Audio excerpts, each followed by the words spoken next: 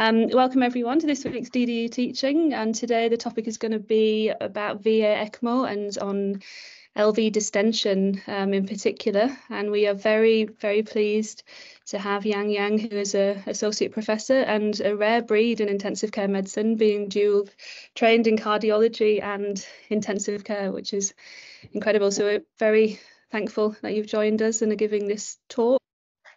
Um, thanks, Emma, for your kind words. And um, Emma did a fair bit of work for me as well, you know, while we were preparing for the slides and um, as you work in big cardiac centers in the past. So I think that we're just going to be more interactive for this one and um, and hopefully that everyone will get a little bit out of this. Yeah. Both Emma and I are going to um, share you with some of our um, learnings from LV distension on VA ECMO. It is a pretty ad hoc topic. Um, so um, I think that it is worthwhile discussing, certainly going to be related to our patient care. Um, as you may all aware that um, the LV distension on VA ECMO um, had been had been recognized. Um, it is a bit under recognized in the past until very late stage, but these days that I think been recognized um, much earlier. And um, I think part of that is because of, you know, like we had a recent trial that we completed um, and read from the ECLS shock trial that was published last year and suggested that in the AMI cardiogenic shock group that uh, a randomized study looking at doing ECMO or routine care actually brings no difference and not only that, there is a tendency towards harm of bleeding and other vascular complications in the ECMO arm. I think that raised a lot of discussion that why that result was um, being found in that way. Um, in comparison, that just recently, about a couple of weeks ago, the published DANGER trial in a similar patient group, looking at um, uh, uh, Impella devices um, to standard care in, in the AMI cardiogenic shock group, um, and actually showing quite substantial amount of improvements of, um, of survivals, as you can see from the graph next. Both published in New England Journal of Medicine, both being very extensive, discussed in the mechanical support societies. Um, and the main difference between these two devices that as we all know that um, VA ECMO is a retrograde perfusion arterial cannulae. Um, it goes against the native cardiac flow. However, the Impella or similar devices are antegrade flow, um, and um, it's actually reducing the LVEDPs and providing um, perfusion support. But however, certainly there are, there are another major difference that the VA ECMO does not does have an oxygenator and the Impella does not have an oxygenator. So I think the survival difference that have been listed here that made people think um, what actually bring down the, the, the benefits of ECMO um, in this group. And then some theories that was hinted that maybe it is because of the LV distension of the ECMO. So what is actually LV distension? Um, there are two physiologies. As we all know that the, the ECMO pump that is literally um, taking the blood from the venous system and retrograde infused into the arterial systems.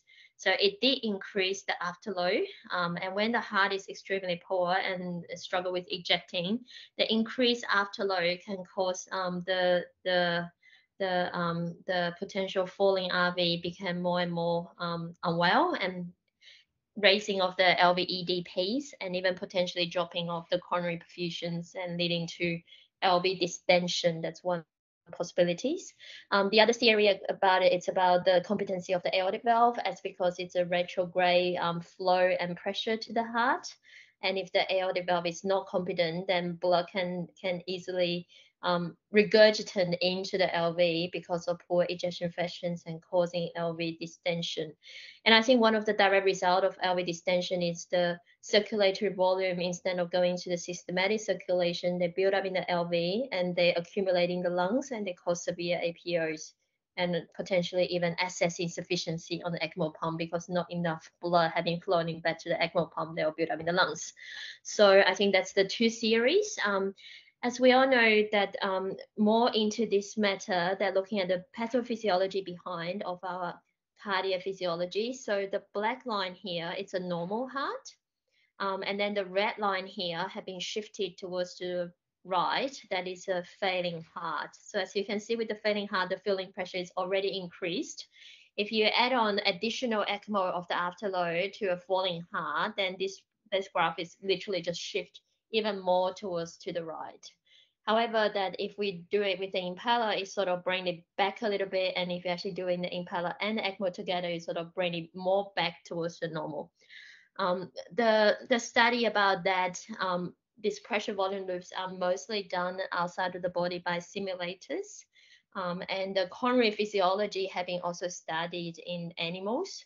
Uh, but our group are currently studying the coronary physiologists in, in human. Um, I haven't had any report to share yet, but however, that the, the theory behind it's actually not that complicated. Um, for example, as we are aware that our coronary perfusion are driven by the difference of the, um, the aortic root pressure and also the LVEDP.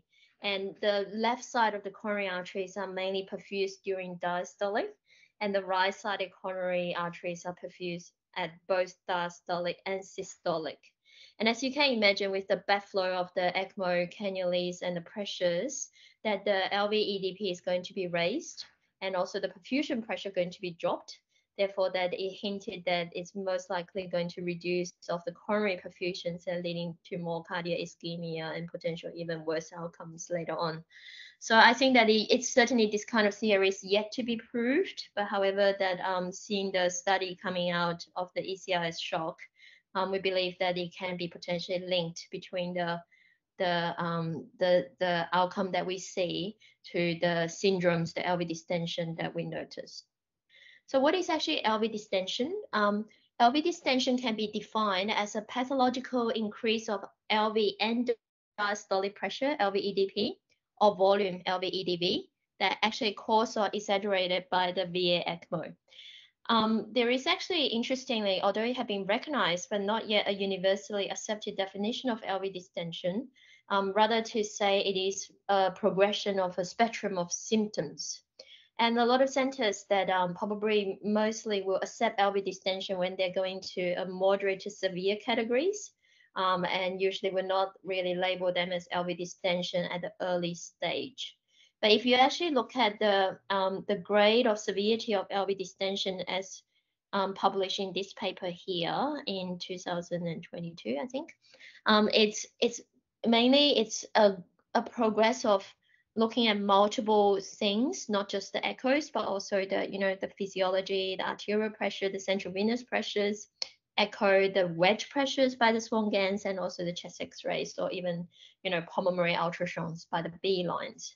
So in the minor situation, when it first started, you may notice that the pulsatility of the arterial pressure actually dropped between 15 to 10, um, and the CVP start to rise to about 8 to 12.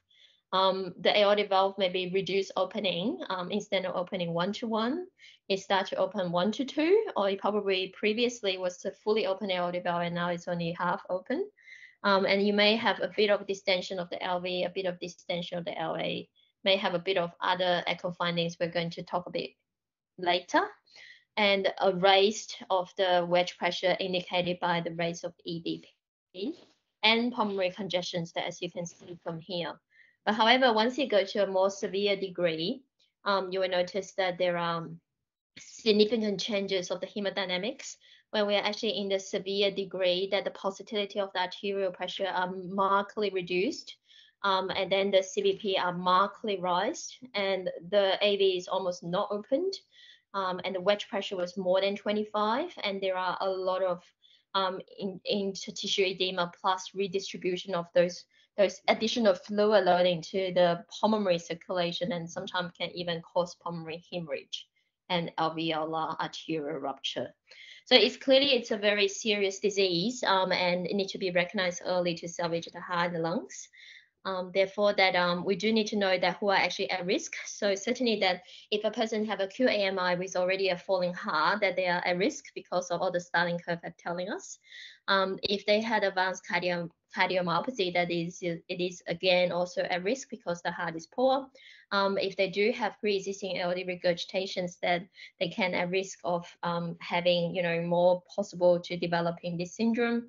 Um, however, it doesn't mean that if a person does not have aortic regurgitation, will have no risk of developing that, um, as we already explained earlier. um, a prolonged ECPR cases can cause that as well. Um, and usually you will see clinically that a dilated non-pulsatile LV and also a lot of blood or fluid that coming out from the ETT and SS insufficiencies in the ECMO pumps. Interesting part of that is that the um, some of those chronic features, um, such as you know um, the chronic heart failure with mitral regurgitation, VSD, ASD, may be actually protective of this LV to actually blowing out.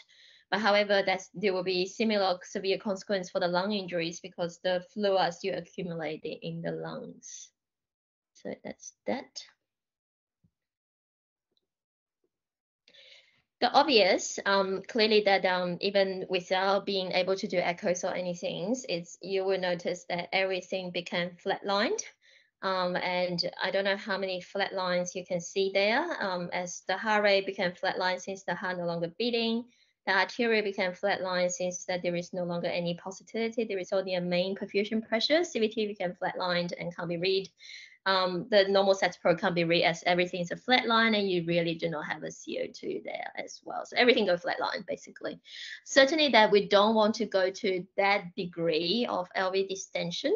Therefore that um, because there is significant con um, consequence of that as the, the intended myocardial injury can potentially hinder of the recoveries. Therefore that we do need to pick up this this um, syndrome much earlier and try to treat as a medical emergency and treat it appropriately, such as medical treatments and venting. Um, therefore, that um, I think ECHO is going to play a very major role in this. And I'm just going to hand over to Emma to talk about the ECHO's findings. Thank you.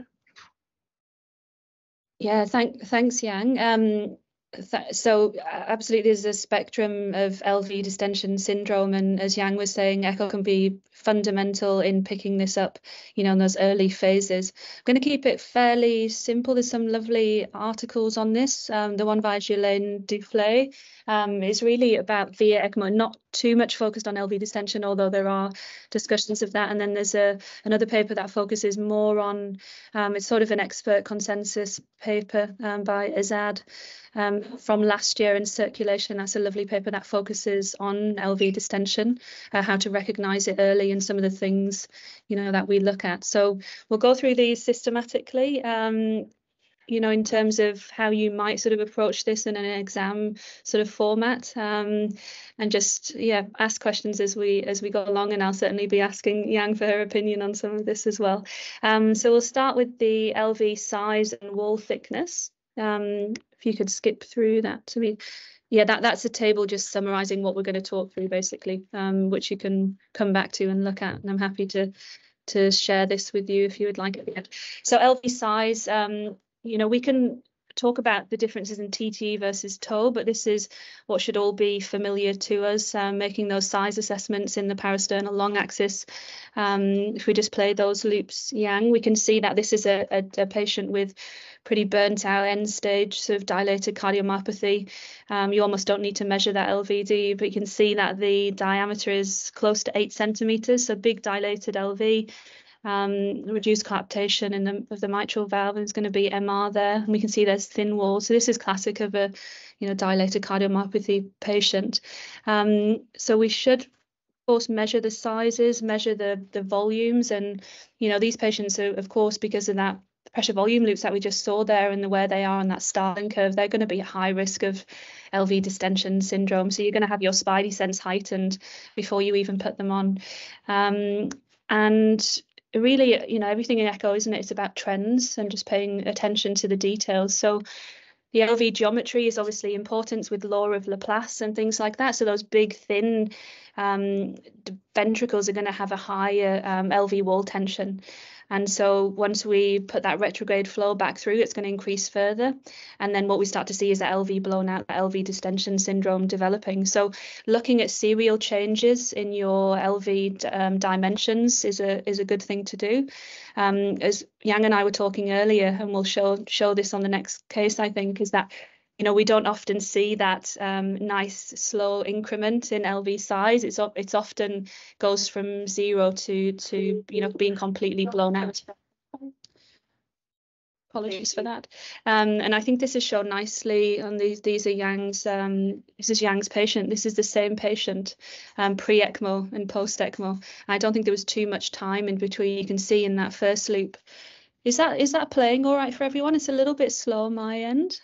Um, anyway, it doesn't change things too much. We've got a small LV cavity, as you can see, with impaired biventricular um, function pre-ECMO. Um, and this is a TT picture, and we can see the mid-esophageal view at zero degrees. We've got this hugely blown out LV. It's completely stretched the mitral annulus, so you've got a wide open uh, mitral apparatus with free-flowing MR um, which we'll show on another slide. And you can see, what does anyone else notice um, on, on the loop there as well? That's in the left atrium. Anything that you can, yeah, nice. So that's again, I mean, you, it just adds to the picture, doesn't it? That, um, you know, this is terrible LV distension syndrome. We're starting to get thrombus formation. And you know that when you start to see that, that's sort of a pre pre-terminal event, you need to act pretty quickly um, before it's before it's game over really. Um, so yeah, important to look at size thickness for risk prediction and also to then um, trend that and allow you to to act quickly. Um, moving on to systolic function of the LV, um, we know that. So I must say that you know for all of this, there are, there's no great you know robust evidence in terms of hard and fast cutoff values.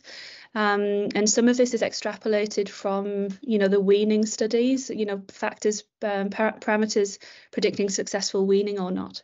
Um, but generally speaking, you know, if we have patients with lower ejection fractions and, you know, definitely lower than 10%, um, you know, those getting around lower than 20% are going to be the ones that you that are going on to ECMO anyway. Um, but these patients are obviously at higher risk of of developing it. And um, yeah, measures of, of ejection fraction, whether that's eyeball or the usual techniques, um, are useful to help risk stratify. Um, we can use obviously sometimes our images, especially with TT, are not too good. So this where tissue Doppler I think is is really helpful.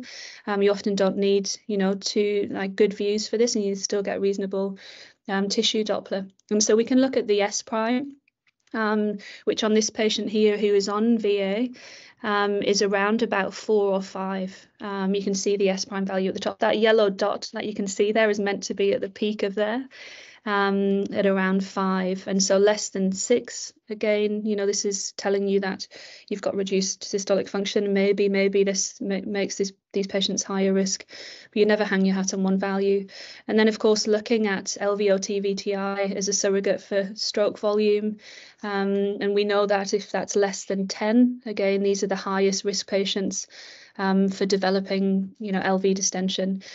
And we talk a lot about, I guess, you know, in non-ECMO patients as well about LVOT VTI recruitability. You know, we're starting inotropes or we're giving fluid, whatever it might be. Um, and again, often looking at the trend in your VTI as you're going up and down on flows can give you an idea of how much that myocardium is struggling. So if it's not recruiting stroke volume when you're reducing flows, then that's again one of those sort of canary in the coal mines um, that this patient's very high risk of, of developing um, distension syndrome. Do you have anything else to, to say about that that in particular, um, Yang? Yeah, and um, I I wish to say that although LVOT is very widely used, it's actually not much um, you know evidence around it. Um, it, but it is easy to get. It is sort of widely used and it's sort of widely accepted. Less than 10, everybody gets a bit worried. Um, and we usually say that a recruitable ventricle is like you know, when you actually go down with the flow, either it's an Impella winning or it's an ECMO winning that you can just, or VET winning, you know, like more than 10% of increase. Um, but however, that um, this is again a single parameter, so we probably need to look at multiple parameters about winnings. Um, so we just need to be cautious when we are actually using VTR a lot, and um, it is a common thing to do, but however, it's probably not the entire picture. Thank you. So TT versus TO is, is no different in any you know in any normal patient. The the you know we're obviously going to have limited views sometimes, aren't we? Especially in the cardiac patients, they might have other various things going on. They're sick, they're in the ICU, they're positioning. So often the pictures are not great. Whereas with TO, we can obviously get better views. TTE though allows you, it's non-invasive, it's easy, portable, we can get serial assessment, which is one of the main benefits of it. Um, it's a bit harder, isn't it? Especially with with toe getting serial assessment. So um, you know, it's a bit limited from from that perspective. You can, of course, but it's not easy and certainly not without risk, especially in these patients that are often anticoagulated and and those kind of things. Um, I guess the big thing that's going for it with TTE is that you can get better Doppler angles, which is obviously important if we're going to be trending things LVOT, VTI, um, and try to have that as accurate as possible. So there are, um, I think I would see the them, them being complementary as opposed to one versus the other. Um, and certainly using both could would probably um, be most helpful. So the difficulty of estimating filling pressures in in these patients. Um, of course, it's not not going to be with echo, as Yang mentioned at the beginning. There, it's this whole picture, isn't it, of invasive hemodynamics, of looking at the lungs, of looking, you know, at their biochemistry and how they are clinically and things like that. Um, but there are certain things that we can look at, and again, no robust evidence, but it kind of has a lot of good physiological rationale. Um, and again, it's the the trend and the changes in these numbers. So, you know, E to A values of more than two, especially if that's combined with that short decel times, that restrictive LV filling pattern would be suggestive that you're dealing, you know, with a patient pre pre going on that that they've got high LAPs, an E to E prime of more than 15. Um, again, suggestive of high filling pressures. Of course, we have those grey zones, so less than eight, you know, it's unlikely, um, combined with other things that you've got high filling pressures. Um, and then that grey zone between 8 and 15, who knows? So you need to look at other things as well. And I think good, you know, useful things to look at and certainly very pragmatic is the position of the intraatrial septum. So you can see in this bottom frame here, that's bowing to the right. Um, again, just, you know, suggest highly suggestive. You've got rip roaring, raised left atrial pressures and lots of B lines in the lung there. So putting all of that together in a patient, you know, with an LV systolic function like that, this patient's got very high, um, you know, filling pressures and they're going to struggle a lot and the lungs are going to become congested um, once you start increasing up that retrograde flow. Um, the left atrium, the size and you know, if it's elevated, if it's dilated, there's likely to be an element of chronicity there. But remember, especially in our sick cohort, you know, often our patients that have high pressures often have normal left atrial sizes, and that's because the, the compliance and things and the function of the LA is changing acutely. Um, so just because there's a small LA doesn't mean to say you, you're not dealing with um, raised filling pressures. It's important to bear in mind. So this is showing again that same patient who was on flows of two, um, showing reduced lateral and medial E prime velocities and maybe take that E to A with a bit of a pinch of salt. I'm not sure. I'm convinced that's an A wave there. But anyway, we've got a really tall E wave with a short decel time, um, uh, you know, combined with everything else that you can see suggesting this patient has congestion and raised filling pressures. Um, and the E to E prime on this patient was 22. It's interesting the study by um, the study by Nadia Aissaoui in JASE in 2012, in that the E E prime and E wave velocities and you know the surrogates of filling pressures didn't differentiate those who were weaned successfully and and not. Um, and again, I think this is an area for more you know for more research along with some of the things that Yang's Yang's mentioned, especially in the LV distension realm. And then, of course, you know, looking at the LV, the aortic valve and the mitral valves are inextricably linked to the LV, um, and a, an assessment of the LV wouldn't be complete without looking at the the valves. So um, aortic valve opening clearly important.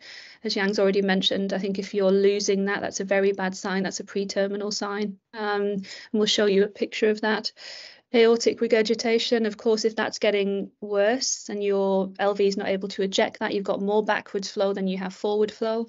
Um, and the, that patient is sitting duck for, for thrombus formation and, you know, ultimately death um, if that's if that's not addressed. Um, again, mitral regurgitation, as Yang was saying, in the chronic patients, it often acts as this pop-off valve, doesn't it, just to offload the LV. But the trade-off to that is that your lungs get wet and um, all this the subsequent sequelae from that. Um, so a little bit of balance with the with the mitral regurg. Important to look at the um, the mechanism, of course, of the AR and MR, because if you've got someone on ECMO and they've got a primary cause for their valve lesions, you know, big vegetation or dissection, you know, whatever that might, uh, you know, pat muscle rupture, whatever that might be, then that's obviously going to need fixing. Um, so important to to look for the for the etiology of the of the valvular regurgitations. Um, and then systolic AR. It just sounds terrible saying that. Obviously, this is a very, very bad sign. Um, the pressures in the aortic root are higher than that in the LV during systole. I mean, that just sounds incompatible. There's some, Yang's got a lovely um, slide showing that. And then diastolic MR um, is what we see if we have raised filling pressures. So that could be, you know, um, included in in your sort of filling pressure assessment as well if you're seeing diastolic mitral regurg. So quite a lot to look for in the valves as well as the LV.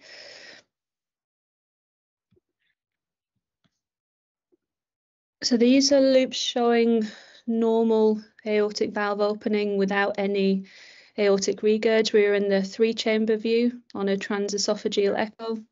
Um, just seeing normal, what normal looks like essentially in terms of the opening nice thin pliable leaflets without any significant regurg. And then we have a loop showing, or this is with TTE at the level of the aortic valve, and we can see that that aortic valve in 2D is kind of fixed, isn't it? It's not, it doesn't look like it's opening at all. Um, and if we just, I think the M mode is really useful here. And obviously, those that do VAD weaning studies will be more used to looking at this because you can measure how long it's opening for. Um, you can see here you've just got this sort of, it could almost join that screen that Yang just showed with all the flat lines. The M mode for the aortic valve also becomes um, a flat line as well. So, and I find the M mode quite useful just to, um, you know, gives you a pretty picture if nothing else. But um, I think it is useful in terms of when they're doing more um, more weaning for VADs. Would do you use that much, uh, Yang? The sort of measuring out the timing and stuff with the yeah especially for timing because we do wish for especially for explantation we do wish for the aortic valve can be maintained open for 200 milliseconds um, that's for weaning to explantation of that but however that to actually seeing that whether a person is okay to be weaned or or if we try to load the heart and wean them off, you know, like um, we do want them um, the aortic opening to be more than 200 milliseconds. But however, if um, um got, I got someone is waiting for a transplant or something, and in that case that I want to fully unload the ventricle, I don't want the aortic valve to be opening that much. I actually want to aim for the aortic valve opening to be less than 200 milliseconds, that means that I'm actually fully unloaded the left ventricle from LVAD perspective. So it depends on what sort of indications that um, we're using that aortic valve opening time for. Um, but however, that um, it is a quite useful marker. Thank you. Does anyone have any questions so far? Any questions for Yang on things that we've seen seen so far? Come back to that. Um, Rishi, what's this showing? It's just saying at the top. Yeah, worsening aortic what was the what was the context of this Yang, this patient again? Oh, it's a it's a failure to wean after AVR and then um, end up with a, a, central bypass be converted to a peripheral bypass. Um, and and you can see from there there is a very big jet of perivalvular leak it almost goes horizontal down. Yeah, so. I was going to say, yeah, the the plane of it as well. Yeah, very nasty. Um, it's obviously bad to see if you're seeing worsening AR from, I mean, from an LV distension syndrome perspective. That's obviously a, again, a, a, a massive risk factor that you're going to be running into trouble fairly soon. Um, yeah, we end up with venting this person because it's just the regurgitation volume is just way too big. You know, like it's hard for the heart to cope. For sure. Yeah. Yeah. I'm always amazed at how sick the hearts are that you that you deal with, uh, Yang. All right. Remind me where you... how they're able to be alive. like, look at this one. Yeah. Oh my goodness. So I've not seen this before. This is a quite. I d- I don't know. Do you see this often? Uh, no, this is fairly terminal, I have to say. Um, Yeah. This is almost like the heart is not ejecting at all. Aortic valve is fully closed and there is continuous jet because the root pressure difference. Oh, You see that? Systolic, Oh, systolic uh, I don't know. with with no aortic valve opening. I mean, just just yeah, crazy. Did this patient survive? Uh, I can't remember. Um, I, I would doubt that that that is the case. Um, but yeah, there are many cases, so I can't remember exactly the outcome of this particular person. Chamber looks empty. Yeah. Um, we talked a bit about, you know, mitral regurgitation. Um, and obviously, if this is severe, you're going to flood the lungs and, you know, increase congestion, pulmonary edema, and all of that. Um, and yeah, important. You can see a trace of MR in this, um, you know, sort of two chamber, more or less, in transesophageal echo. Um, so you wouldn't worry too much about that. But then severe, severe MR on that TTE. This one is the you know, the LV acute LV distension that we saw in that first loop with that mitral valve. It almost looks like, you know, one it like a carcinoid valve, doesn't it? Like just completely stuck open, um, because it's just been stretched so much by the annulus. And and this is a beautiful demonstration, I think, of that how it's really, you know, there's that laminar flow. Um, you know, when it's free flowing, it's just laminar, and um, how you could easily miss. You know, usually we talk about how you can easily miss severe pulmonary regurgitation in like the post TOF repairs or something, you know, when it just looks like this and you don't realize that it's a severe wide open um, PR. I guess, you know, the same for tricuspid regurg and things as well. And it's often when you put Doppler through and you see that V V cut off sign um, because that huge giant V wave in the atria that that it um, you know, you, obviously the 2D appearance would help you out there as well. But um, yeah, just horrendous free flowing MR.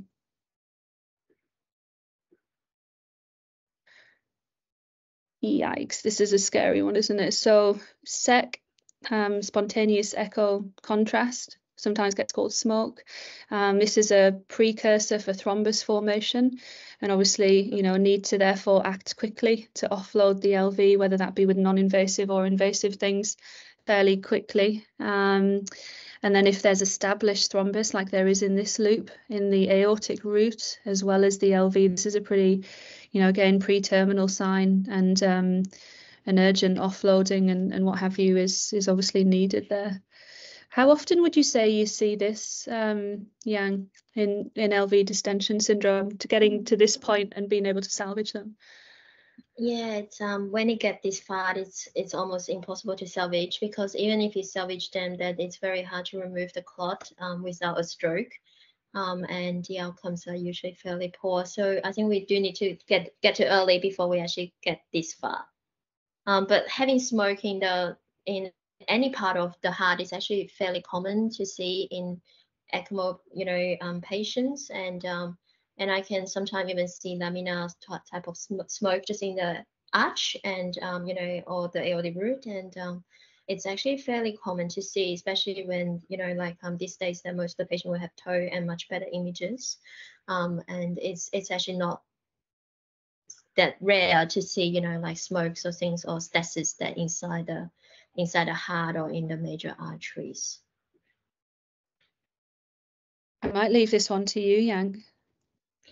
Yeah, this is a little bit of work that we have been sort of doing, and um, I mean that it's it's a new technology on the GE machines called blood flow spectral tracking. Um, it's usually using pediatric populations to look at congenital heart diseases, but we start to apply that in um in our ECMO um, patients, um, and trying to explain that you know why um LV distension sometimes can be seen even with a competent aortic valve. Like we we haven't really seen any sort of aortic regurgitation there on the routine color Dopplers.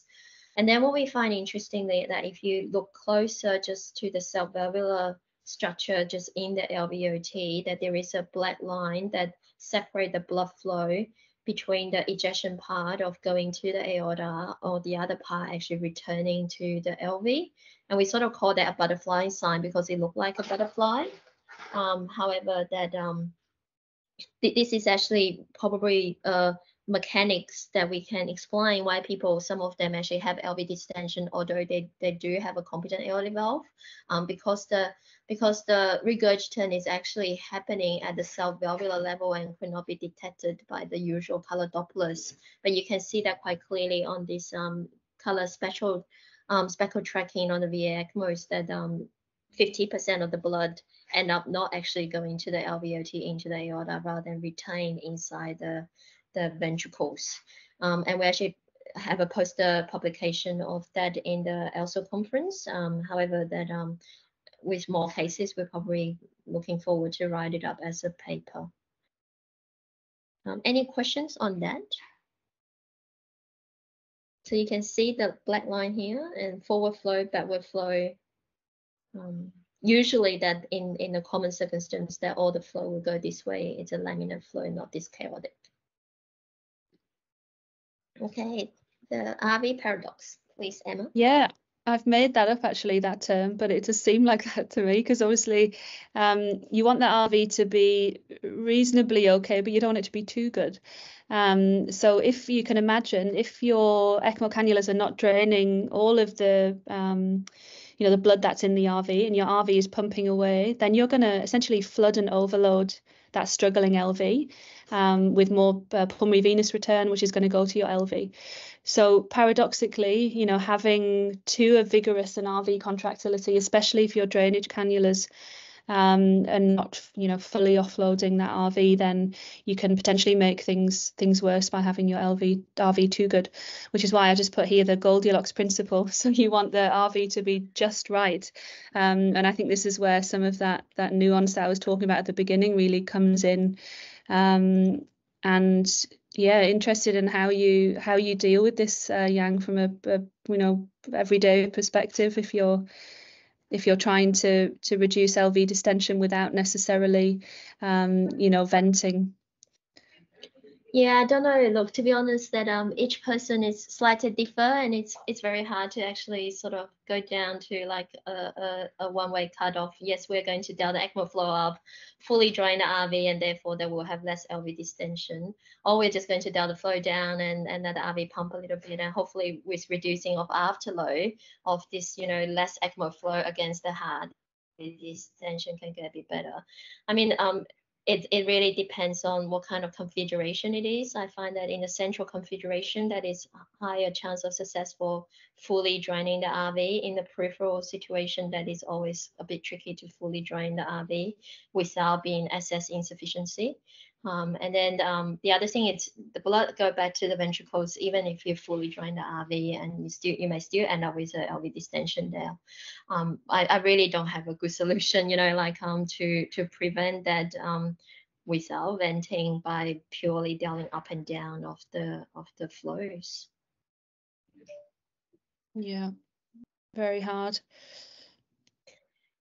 All right, so we may we may now talk into the treatments about um, the LV unloading as a medical emergency. Thank you, Emma, for taking us through of all the um, echo pictures and uh, and the major signs that we're looking for at different stages of the LV distension.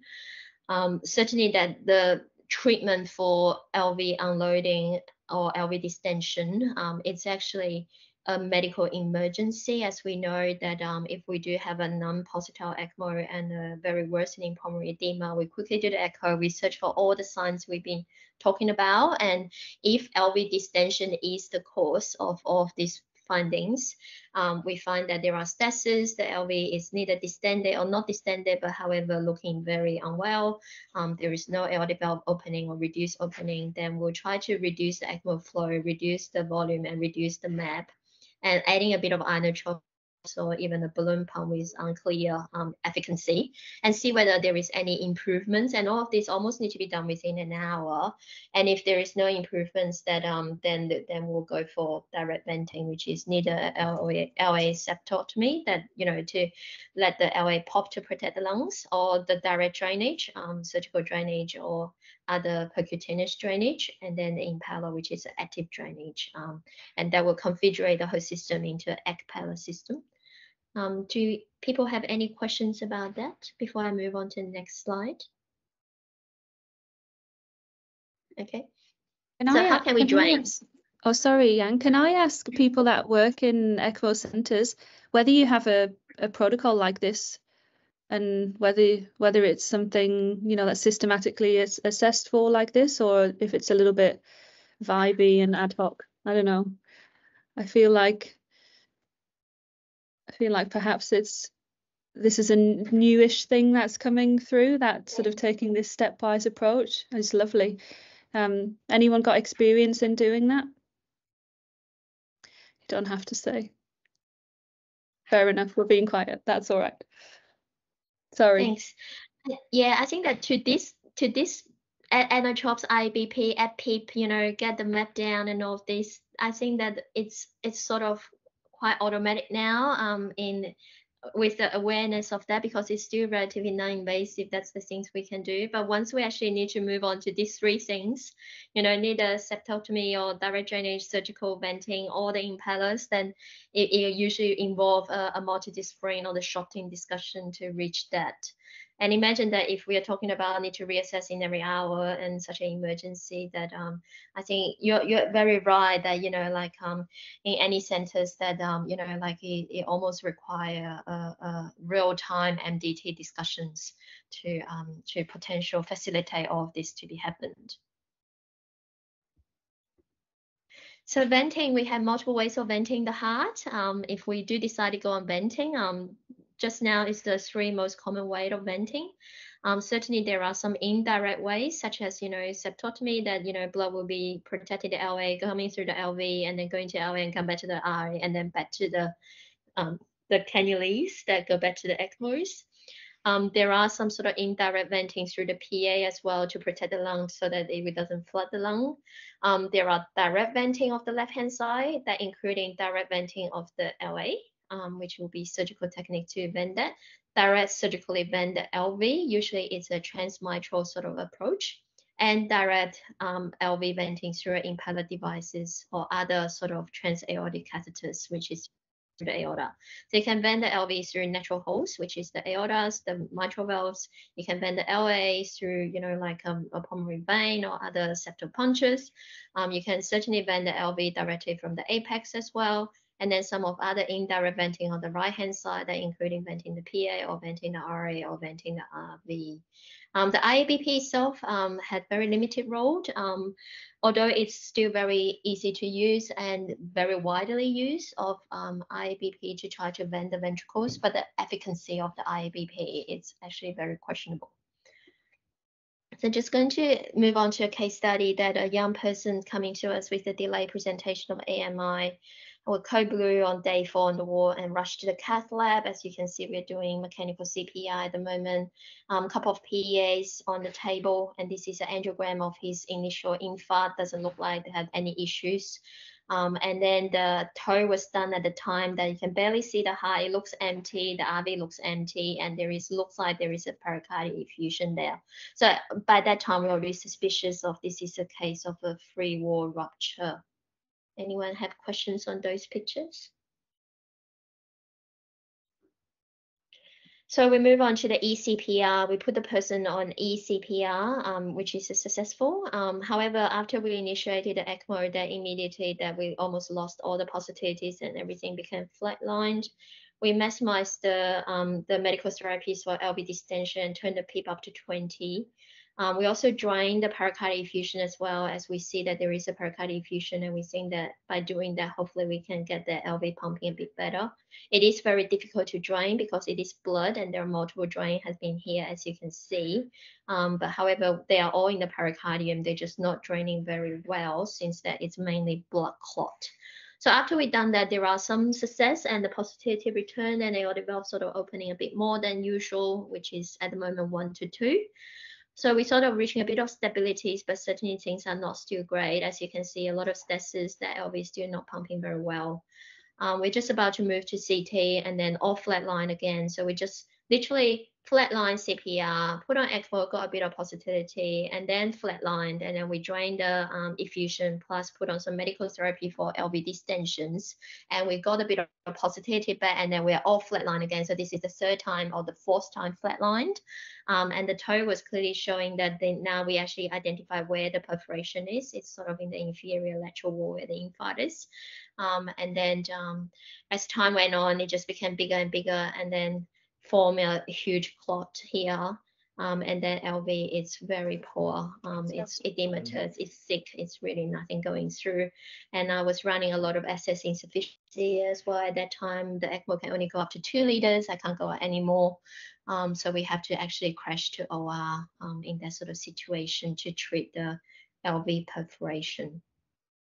So this is in theater that um, we found the rupture um, we put a patch on, it bled and bled, and the patch just couldn't stay on because of the LV distension and the flow inside the LV was just the pressure is too high. It's acute infarct, post-infarct um, rupture. Um, the myocardiums are extremely fragile. Um, it is very hard to solder on anything or even glue on anything um, with the amount of blood coming out from that rupture. Um, so therefore that in the end, we have to settle the system with a central vent as you can see here. This is from the from the pulmonary vein into the LA, trans the mitral valve into the LV. It is penetrated, as you can see from here, it's sitting at the apex and it draining both of the LA and the LV. Since we did that, we actually got some stabilities and managed to get the person off the table um, on VA ECMO about three liters and the vents about draining about 260 mils per hour. So we babysit with this person for almost four days. Um, actually, surprisingly, extremely stable. Um, we watch the patch and and where the you know the patch and the myocardium and the leak is.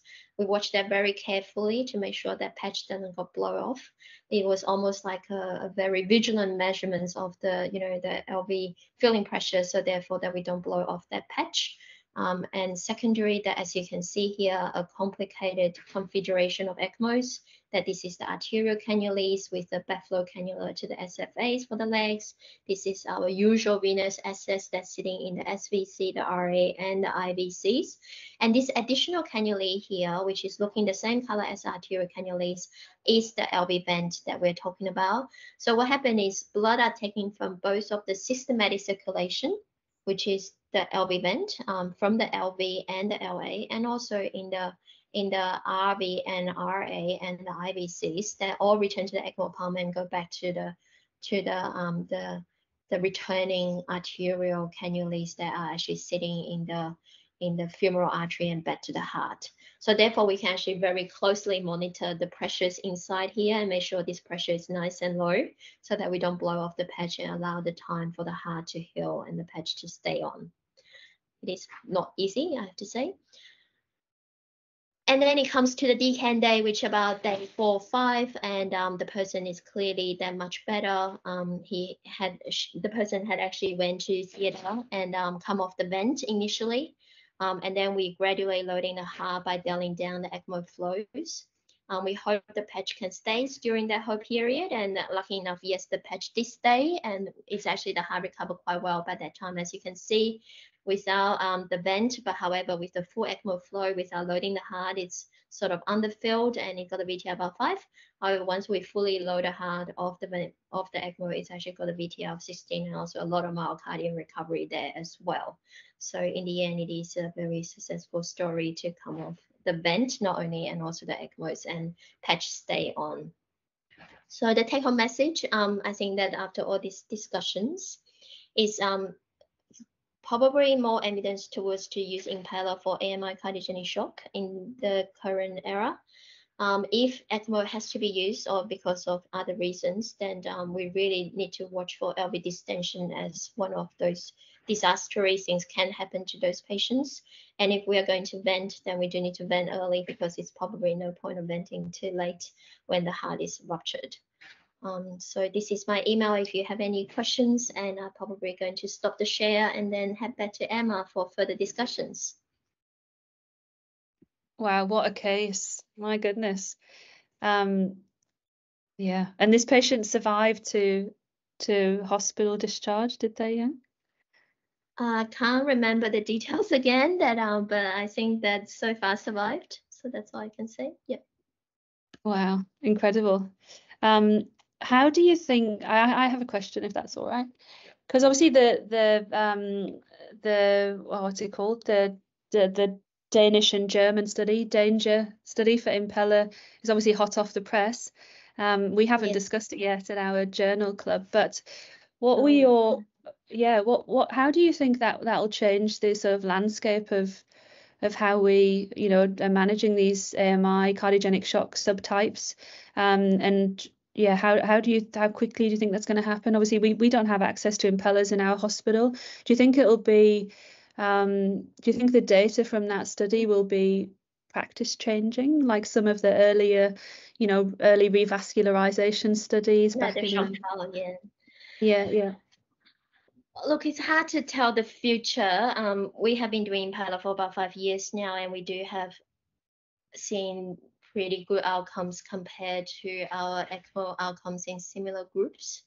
Um, we suspicious at the time that when the DanGer hasn't been published because it is a bit nerving for all of us that you know like practice in this field that are we actually doing the right thing are we causing harm and i think lots of us actually didn't sleep that night at two o'clock waiting for the American Society of Cardiology that um, actually actually um, presented the, the final result of the DanGer trial and spontaneously published in New England. And then we didn't sleep the rest of the night because of neither being too excited that is one group and then being too disappointed that's the other group. So I, I think it's probably still early days to say that whether this trial just by itself is going to change practice. But it is exciting to see that after so many years of trying of different kind of devices and the falling of ECMOs, the IABPs, and various of things in this group, and finally we see a little bit of light in the end of the tunnel that maybe the Impella is the answer for that group. Um, but I just at this stage I can't be confidently based on a single trial to say that um, that that this is going to be the game changer. Um, clearly, there are a lot of criticisms that are already coming up regards of the trial as well, and they're not going to be blind to that. That there are significant amount of um, renal failures, there are limb ischemia, there are other complications are concerning. Um, however, the, the mortality benefit actually even overcome those complications. I think that is one of the things we do look at. Our local data are actually being analyzed right now, and I really don't have too much to say, but um, the there are difference in protocols slightly about how we manage this patient about weaning towards to the DanGer trial and um, our weaning had been published in um, already last year um, in the in the um, I think the local journal in Australia of the cardiac societies. Um, so our weaning is a bit more quick than the DanGer. The DanGer weaning is like they don't wait until 48 hours. Our weaning start as soon as the patient is actually favored. In that case, we are seeing much less complications such as hemolysis and renal replacement therapies or infections or any of that. And because they take off the support earlier, because they got weaned earlier, and there are less sort of limb complications as well. So I'm not really sure that whether it's a direct compared to DanGer to us, our local studies, to um, ECMO. I think that it is a very complex group. Um, you know, like every devices will have a place to use, but just where are we going to use them? In the future, I think very likely for the shock group, especially AMI shock group left-sided dominant, then it's probably more going to move into the Impella space. Um, however, with CPR, ECPR, and right-sided failure, such as PEs, ECMO is probably the best mechanical support today. By saying that we may even have combinations coming up in the future, such as ECPella, um, which just adds another sort of, you know, um, difficulties and complexities of managing those people. Um, and certainly more devices you put in more complications that, you know, finding the, the right cut in between is hard. Um, and certainly everyone had a different desire about their functional outcomes as well. And I think that we do need to think about that as a long-term outcome, which at this stage will mainly focus on mortality.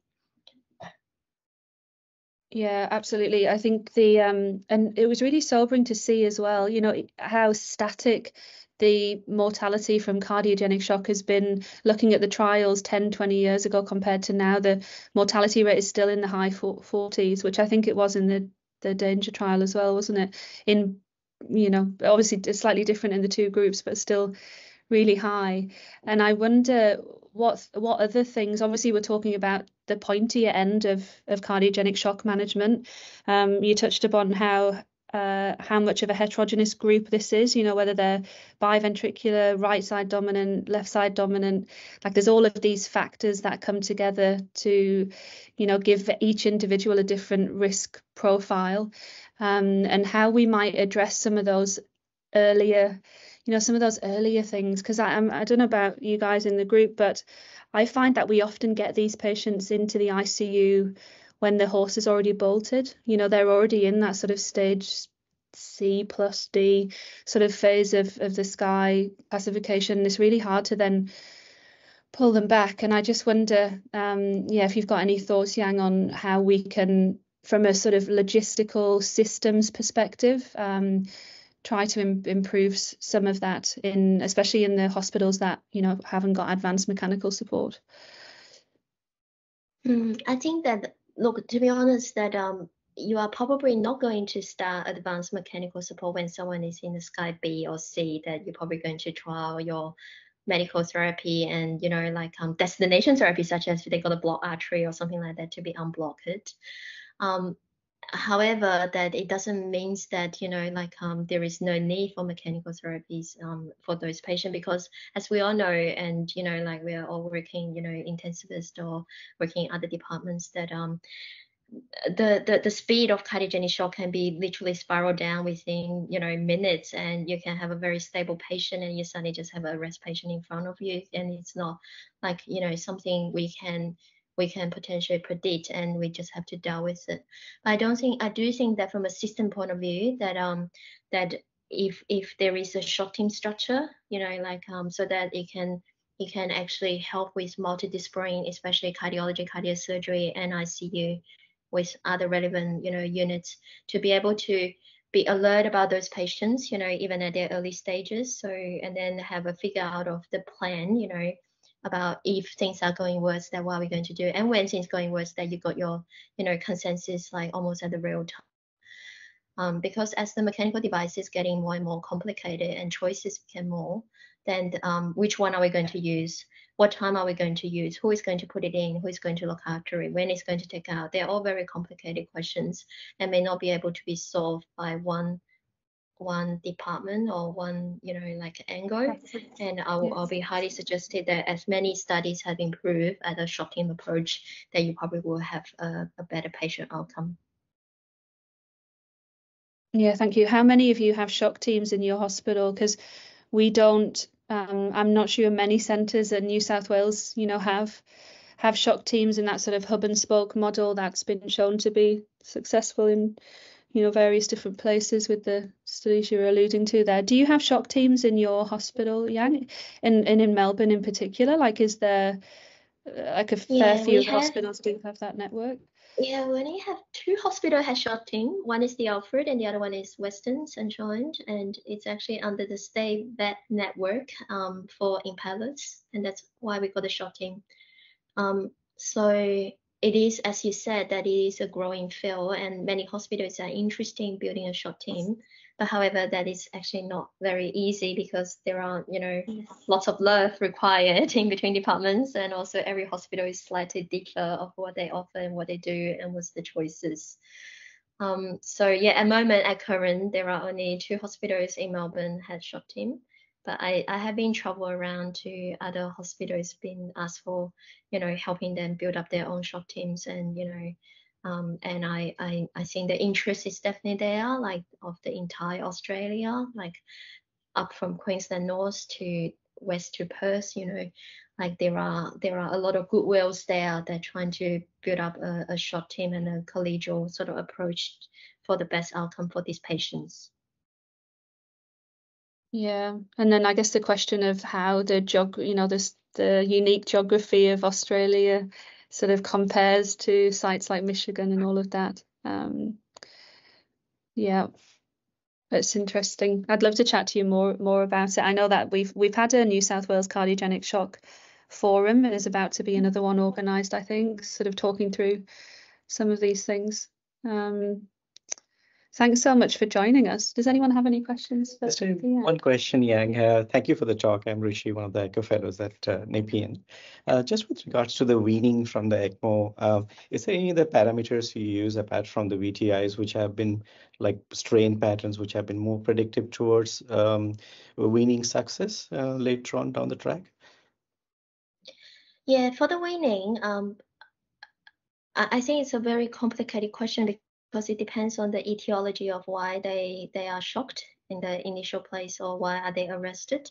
If the primary physiology was not solved, then um, it's almost impossible to win. It doesn't really matter what parameters you're getting. That even if if you get a reasonable parameter come off and the problem is still there, and then they will not last. So you can come off, but they will still die later. So I think that it's it's sort of difficult. And the other thing I think that that using complicated methods such as strains and others that depending a lot on the personnel doing it, the angles and also the picture qualities, and it's hard to sometimes hard to compare, you know, um, when um, in the in the same patient in different time frame but doing by different people. So we tend to we do have you know multiple criteria looking at weaning of neither ecmos or Impellas but they usually it's a combination of first of all, they need to be stable enough, and then their primary problem need to be solved. Or are they actually bridging to vessel transplantation, which if the problem problem could not be solved, which when it will not even be attempted, and then um, and then it will be a hematological, or sorry, it will be a hemodynamic type of data with you know like either Swan-Ganz or other advanced hemodynamic um, monitoring devices and um, and the echo data and then um, and then the multidisciplinary discussion and afterwards mm-hmm. that see what happens and hope for the best. Yeah, um, yeah. So that's and probably the, the routine everyday thing that what yeah. we do. Yeah. Is there a, a, a, trend towards bridging towards Impella where they can be extubated, more be more mobile, and allow them a prolonged period of time to allow the myocardial recovery? Uh, the the Impella inserted through the groin will be quite hard to mm. mobile, but usually they're not intubated because they've got dry lungs. Yeah. Um, the Impella through the axillary route, um, especially surgical implanted, can be mobile and can stay in slightly longer and also had a higher flow rate at 5.5 rather than 4.3. Um, yes. So yes, the I think in New South Wales that currently St. Vincent's is doing a fair bit of 5.5 at the moment. It's yeah, still very yeah. relatively new um, to the Australia, but it had been used a lot in Europe and the United States. Awesome. Thank you so much, Yang. And thank you so much.